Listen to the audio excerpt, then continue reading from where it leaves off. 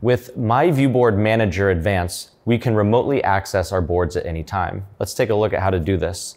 So I'm already signed in to Manager by going into myviewboard.com and signing in with my account. And we can either search for a device, uh, we can go to our groups or maybe a star device, but we want to select the device that we want to remote access.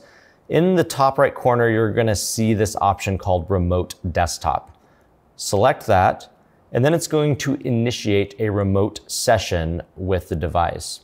Now, when the session is actually connected, uh, there will be a notification here on the board that is explains or basically shows that it is being accessed remotely. The cool thing about this is you don't need to be on the same network as the board because it's all web-based. So now that we have access to the device, say uh, someone was saying, oh, I don't like the touch sounds are turned on. I can go in here and just using my uh, mouse and keyboard, I can select uh, apps, I can go into settings, and there we go, we can turn off the touch sounds. You'll notice you have controls over here on the side, so we can return to the home screen. Uh, the layer icon will basically just show us previous apps so we can see what they've been accessing.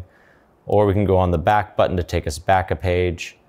And then of course we can disconnect or uh, terminate the remote session. Once you're finished with that, everything returns back to normal and it's ready for you to access your next device.